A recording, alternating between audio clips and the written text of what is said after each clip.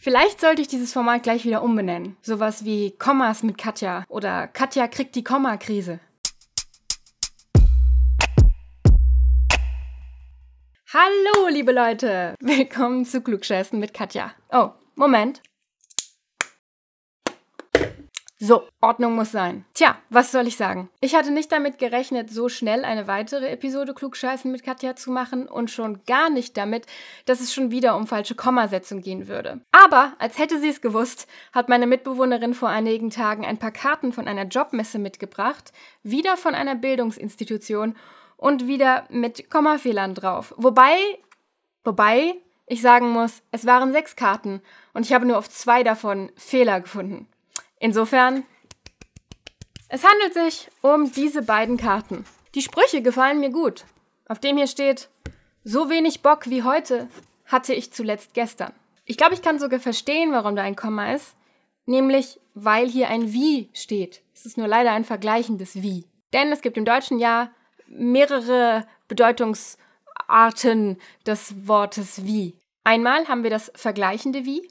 Du bist so groß wie ich. In diesem Fall kommt kein Komma hin. Das gehört einfach zusammen. Du bist so groß wie ich. Dann gibt es aber das qualifizierende oder maßgebende wie. Also zum Beispiel, ich weiß nicht, wie groß ich bin. Vor dieses wie kommt ein Komma. Und dann gibt es natürlich noch den Fall, in dem es einfach das Fragewort des Satzes ist. Zum Beispiel, wie groß bist du oder wie geht es dir? Da brauchen wir natürlich kein Komma, aber ich glaube, das wissen wir alle. So, das heißt, eigentlich gibt es zwei Arten von wie. Einmal gibt es das Wie, das sagt wie sehr, wie groß, wie bla. Und wenn das in einem Satz vorkommt, dann kommt ein Komma davor. Ich weiß nicht, wie groß er ist. Aber wenn wir ein vergleichendes Wie haben, nämlich du bist so groß wie ich oder das ist so blau wie der Himmel, dann brauchen wir kein Komma. Das vergleichende Wie. Eigentlich ganz einfach. Bei dieser Karte hat das einfach jemand verwechselt. Denn so wenig Bock wie heute ist vergleichend, hatte ich zuletzt gestern. Kein Komma. Die zweite Karte. Soll ich dir schnell helfen oder bekommst du das alleine kaputt? Auch lustig? Da ist ein Komma von einem Oder. Und das verstehe ich dementsprechend noch weniger, denn ich hatte zumindest in Erinnerung, dass das eine der ersten Regeln ist, die man lernt. Kein Komma vor einem Oder oder einem Und. Grundsätzlich, das ist ganz easy, sich das zu merken.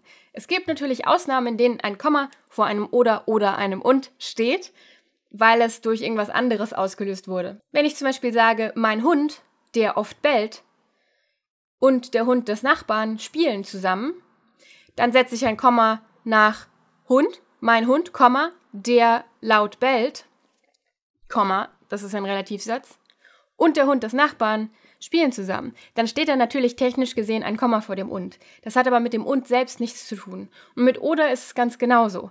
Das heißt, hier haben wir ja keinen Einschluss. Es ist ja eigentlich ein ganz simpler Satz. Das heißt, vor diesem oder kommt kein Komma.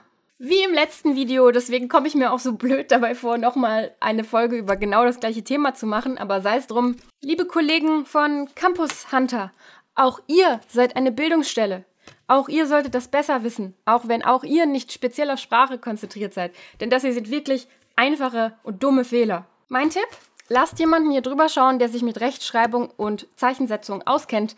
Ich habe gehört, da gibt es sogar Programme für. Das war's für diese Ausgabe von Klugscheißen mit Katja. Nächstes Mal geht es um was anderes als um Kommas, ich verspreche Bevor wir alle gehen, möchte ich wie immer auf meinen Patreon hinweisen, dass sie sind alles wunderbare Leute, die DFE, diesen Kanal und somit auch Klugscheißen mit Katja finanziell unterstützen und dafür sorgen, dass ich weiter Videos machen kann und gleichzeitig studiere. Wenn ihr Mitbewohner. Wenn ihr auch auf dieser Liste stehen und noch ein paar andere Belohnungen bekommen können wollt, dann geht doch mal auf meinen Patreon, der ist immer in der Beschreibung verlinkt, auch auf dem Bildschirm zu sehen gerade. Schaut euch da an, was es gibt, ob es was für euch ist, ob ihr euch das leisten könnt und so weiter und so fort. Ich freue mich natürlich über jeden, der mitmacht.